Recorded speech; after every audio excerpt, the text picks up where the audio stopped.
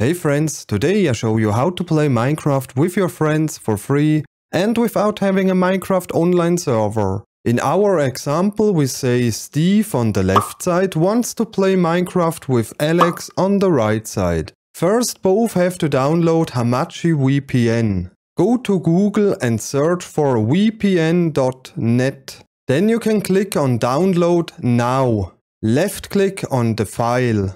Click on run. Choose your preferred language. Click on next and then install it how you would do it with a usual software. Now Steve on the left side will create a network. I will show you how to do that. We click on network, then on create a new network and two times the password and click on create. Then Steve has to share the server name with his friend Alex. Alex has to click on network, join network Paste the name of the server and the server password. Then Alex will see the IP of his friend Steve. Both will start Minecraft. Steve and Alex have to start the same Minecraft version and they can only use the same type of mods. Steve on the left side will start a single player Minecraft game. Steve has already a save game, so Steve will use that. But sure, you can also create a new world. When Steve is inside the game, then he presses escape.